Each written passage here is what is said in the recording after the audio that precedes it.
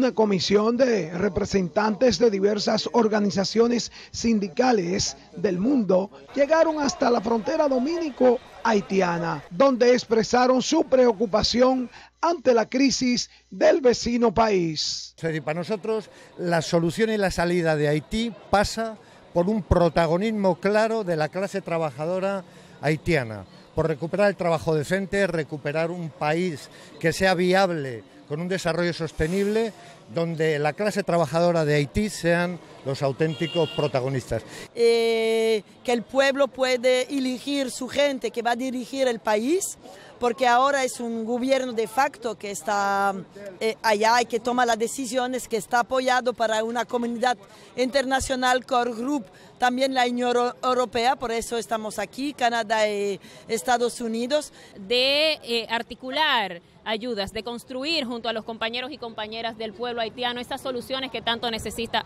esta población y que siempre se ve de lejos. Y ese llamado a la comunidad internacional a involucrarse en la construcción de estas salidas y las ayudas, pero siempre respetando la voluntad del pueblo haitiano y la... Bueno, eh, realmente cada día más que pasan la situación se va, eh, se va eh, endureciendo en Haití, se va caotizando.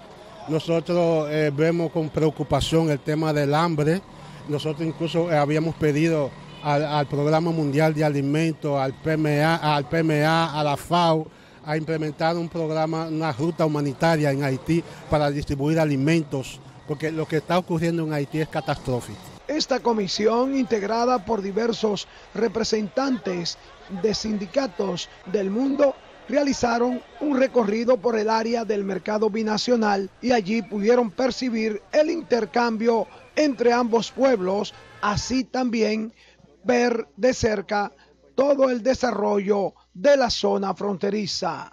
César Montesinos, Noticias SN.